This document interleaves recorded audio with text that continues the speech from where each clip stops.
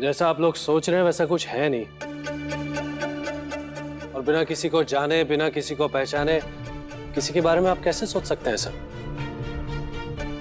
वो फ्रॉडिया तो क्या? तेजो जी तो शादी नहीं करना चाहती थी। अगर उन्हें वो फ्रॉडिया टकरा गया तो इसमें इनकी क्या गलती है? और इन्हें छोड़िए। उस फ्रॉडिया ने तो मुझे दो हफ़्ते तक बेवकूफ़ बनाया था। लेकिन आपको गलती तो सिर्फ़ इनकी दिखेगी ना, क्योंकि एक लड़की है। फतेह! ये क्या तमीज हुई बड़ों से बात करने की?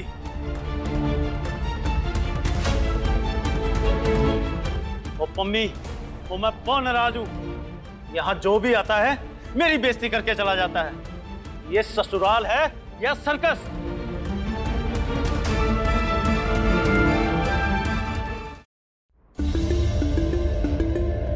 क्या हुआ जीजा जी? हम लोग जा रहे हैं वापस।